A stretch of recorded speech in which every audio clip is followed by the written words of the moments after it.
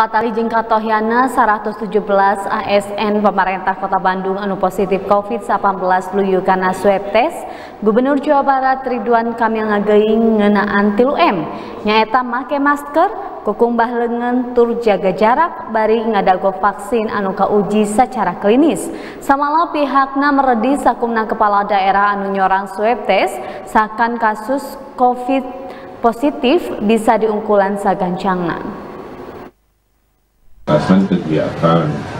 Saya kira kalau tujuannya bisa untuk menurunkan keterpaparan COVID harus kita dukung. Pasti ada kendala ekonomi kan seperti PSBB dulu. Nah itulah yang terjadi semasa COVID ini. Kalau hanya full ekonomi, kasus naik. Atau kasus kita tekan tapi tidak ada kegiatan ekonomi teriak. Jadi hari ini kita memang tarik ulur. Jadi Kota Bandung, Depok, Bogor melakukan uh, proses ini yang saya apresiasi mudah-mudahan bisa menurunkan sambil ekonomi apa beradaptasi untuk menyesuaikan makanya jangan lupa 3M pakai masker, cuci tangan dan jaga Ridwan Kamil netelaken poe Jumaah anu bakal datang dirina bakal disuntik dari vaksin Sinovac.